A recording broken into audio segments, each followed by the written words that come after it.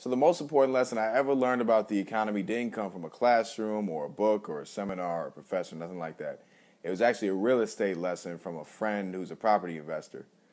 He said, Man, there's so many investors out there trying to buy the cheapest properties and turn around and make the biggest profit off of them and at the largest scale that they can because they just see their properties as sources of profit. And they'll barely consider the other people involved unless it's constructed to them making that profit. And he was like, I used to do that, man. I was only concerned about money. It was seemed to be getting in the way of me making my profits was taking care of my tenants. It cost me time and it cost me money. So make a long story short, my investor friend had some kind of spiritual awakening and put himself in the shoes of somebody living in one of his properties, right? And he said, "No, nah, man, I'm going to make a home for people. I'm going to go above and beyond and put extra care in fixing and maintaining the property, and I'm going to check in with my residents. And if something could be better about their home, I'm going to make it better." So this is what he's been doing for years. And the interesting thing is his tenants stay longer and they take better care of their homes and his properties don't lose money.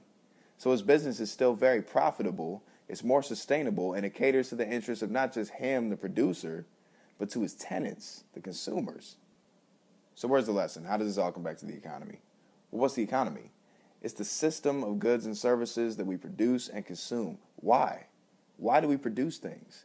We do it to sustain and enhance life, to make things better and more efficient and easier. We produce food and appliances and electronics and transportation and energy and medical services and education and entertainment and whatever else. We produce everything imaginable, and it's all in the name of helping people thrive. That's the purpose of an economy. We make products and services and pay for them so we and our communities can thrive, on paper at least. And the thing that gets in the way is greed businesses get so wrapped up in minimizing expenses and maximizing profits that they can neglect the human side of economics. So consumers aren't so much people with needs and wants as they are money carriers. Now, when my investor friend switched his priority from maximizing profit to maximizing value for his consumers, he found that it was the best thing for his business.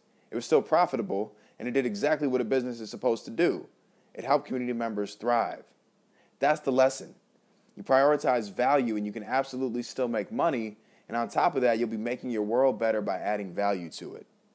Now, we all know there's plenty of greedy people out there, and we can say whatever we want about it, but at the end of the day, we're all human and we're all more than capable of getting greedy. But that also means that we're all more than capable of having a paradigm shift in our thinking and in our actions, just like my investor friend did. Today's business leaders are shaping and building tomorrow's economy in the way they think and the way they act. So I'm saying let's build something that isn't just profitable, but something that's valuable.